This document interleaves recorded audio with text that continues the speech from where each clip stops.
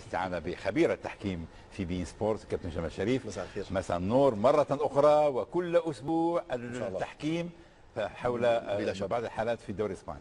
آه، مساء الخير زميل خالد وبضيفك العزيز وبالساده المشاهدين. آه، أعتقد آه، خوان مارتينيز أدى مباراة جيدة وجيدة جدا. طبعا تعرض لاختبارات عديدة خاصة أن فريق آه، سيلتا فيجو يلعب على ملعبه وبالتالي مارس بعض لاعبيه وخاصة آه، أسباس آه، مارس آه، تصرفات أعتقد غير احترافية. آه، مما جعل الحكم يواجهها آه، بحزم. آه، طبعا امتاز الحكم بحزم في القرارات من خلال سبعة إنذارات. صحيحة إضافة لحاله الطرد التي تحولت من الانذار الثاني وإضافة لست إتاحات فرص كانت آه، ممتازة. آه، طبعا خلال آه، 93 دقيقة 26 مخالفة صحيحة مخالفتين غير محتسبتين. نذهب باتجاه الحالات التحكيمية، الحالة الأولى كانت هناك لمسة يد غير متعمدة اولا وهي خارج منطقة الجزاء. آه، جوني يلعب الكرة يرفع الكرة باتجاه آه، يد فاران هنا عن مسافة قريبة جدا ليس هناك إمكانية أن يكون هناك آه، إلا في حدود ضيقة جدا أن يكون هناك لمس متعمد يضاف إلى ذلك بأن هذا اللمس حصل لكن خارج منطقة الجزاء وفاران حاول أن يلعب أو يحرك يده باتجاه آخر في محاولة لتحاشي عملية اللمس. نلحظ هو يحاول أن يمررها نفسه لكن يرفع الكرة وهذه المسافة القصيرة لا تتيح للاعب أن يكون لديه آه، آه، فعل حقيقي بلعب الكرة متعمدا. نلحظ هنا كيف ذهبت باتجاه اليد وهو يحاول ويحاول أن أن يه- ي- يذهب بيده بعيدا حتى لا تلمس. هي طبعا لمست آه، نهاية الكف آه، ال- الساعد اذا قرار الحكم صحيح بعدم وجود مخالفة. اللمس موجود كما ذكرنا خارج منطقة الجزاء والحكم كان على مقربة وقريب جدا ويمتلك زي اول آه، ال- ال- الساعد اذا قرار الحكم صحيح بعدم وجود مخالفة. اللمس موجود كما ذكرنا خارج منطقة الجزاء والحكم كان على مقربة وقريب جدا ويمتلك زي الحكم يرى يشاهد ويتابع عن عن كثب. ليس هناك احتجاج. لكن بعض اللاعبين يحاولون أن يضغطوا على الحكم مستغلين آه، أنهم يلعبوا يلعب على أرضه وبين جمهوره. فحصل على إنذار مبكر أو في الدقيقة الثامنة والثلاثين آه، كلفه بعد ذلك آه، انذارا آخر. الحالة الثانية كان في الدقيقة الثانية والستين وكرة مشتركة مع راموس. هو يلعب الكرة لنفسه أسباس يلعب الكرة إلى نفسه وهنا الحكم يحاول أن يبعد عن فاران ودانييلو اللذان كانا يغطيان الرؤية عليه. آه، آه، نلحظ هنا بأن أسباس يتحرك باتجاه راموس لا يتحرك باتجاه الكرة. راموس يحاول أن يذهب باتجاه الكرة.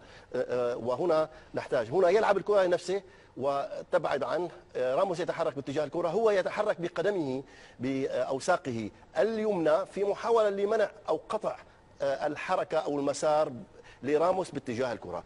نلحظ نلحظ كيف هو يتحرك. راموس يحاول أن يذهب باتجاه الكرة وهو يتحرك بساقه وقدمه باتجاه لإعاقة تقدم آه، راموس. آه، وبعد ذلك نلحظ الحكم كيف وهنا عملية سقوط مفتعلة. ق- قد يلجأ بعض الحكام ليعتبر بأن عملية الاحتكاك آه، لا تذهب باتجاه الخداع. هنا الحكم اعتبر بأن آه، هذا تصرف من اللاعب هو بحث عن المخالفة.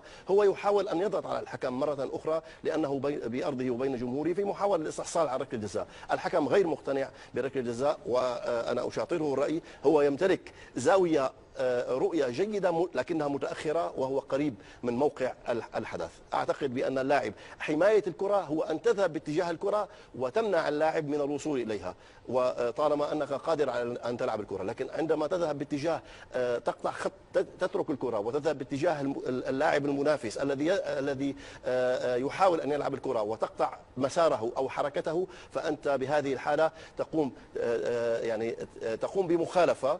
اولا أو تحاول أن تبحث عن مخالفة في محاولة ل- آه، للضغط على والتاثير على قرار الحكم. يعني مش ضربة جزاء يا كابتن جمال؟ لا مش ضربة جزاء. هل هناك ضربة جزاء أخرى؟ آه، في الدقيقة الرابعة والستين جوني يقوم بعملية ليست العرقلة هنا هناك عملية مسك. طبعا غاية في الصعوبة وعمليات المسك. آه، أولا زمنها قصير ثانيا خفية على الحكم. رغم الحكم أنه قريب طبعا الحكم هنا أعطى ركلة ركلة حرة. طبعا هو هنا طبعا أعطى الإنذار.